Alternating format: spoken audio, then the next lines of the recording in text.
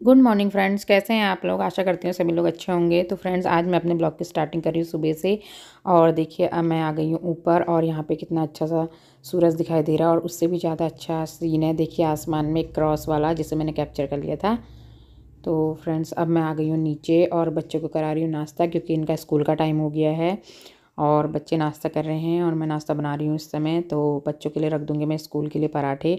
और सब्ज़ी में आज मैंने बनाया आलू, बीन और शिमला की मिक्स सब्ज़ी और इधर बच्चों के स्कूल के लिए लंच के लिए मैं पराठे बना रही हूँ। बच्चे नाश्ता कर चुके हैं और हस्बैंड ने भी नाश्ता कर लिया है। इधर मैंने चाय रखी हुई है।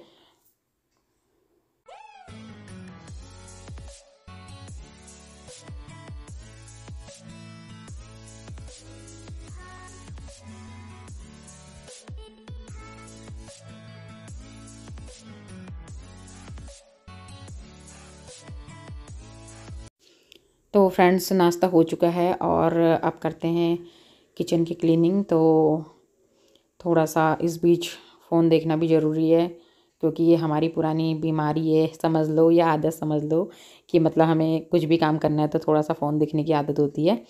तो फ्रेंड्स ये सब्ज़ी मेरी लेफ़्ट हो गई है तो इसे मैं रख दूँगी टिफ़िन में। और दिन में मैं दाल चावल बनाऊँगी तो सब्ज़ी नहीं बनाऊँगी क्योंकि सब्ज़ी बनी हुई है, इसीलिए मैं कभी कभी एक्स्ट्रा सब्ज़ी बना के रख देती हूँ।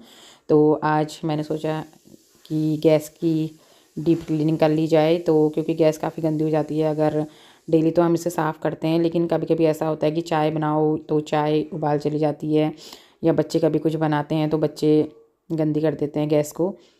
तो इसलिए आज मैं थोड़ा सा मैंने गैस की डीप क्लीनिंग कर दी है और उसके बाद इधर मैं कर रही हूँ, जो किचन की कैबिनेट है थोड़ा सा उनको क्लीन क्योंकि रोज़ रोज़ तो नहीं हो पाती है, लेकिन दो तीन दिन में एक बार तो ज़रूर साफ़ करनी पड़ती है, क्योंकि काफ़ी ये एक तो वाइट है और इसमें एकदम से गंदा दिखाई देता है।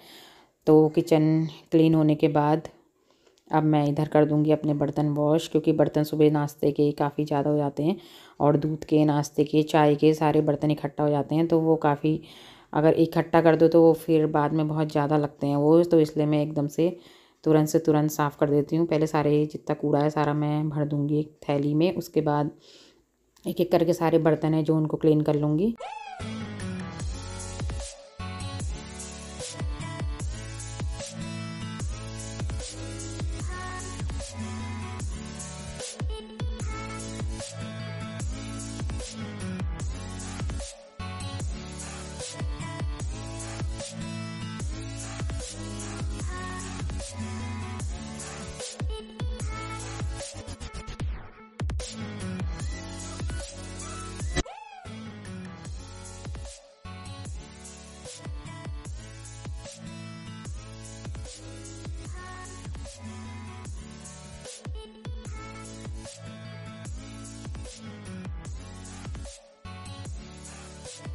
तो फ्रेंड्स, ये था मेरा छोटा सा मॉर्निंग रूटीन जिसे मैंने आपके साथ शेयर किया है। अगर आपको अच्छा लगा तो वीडियो को लाइक और चैनल को सब्सक्राइब करिएगा और बेल आइकन को प्रेस करिएगा जिससे आने वाली वीडियो का नोटिफिकेशन आपको मिल जाए।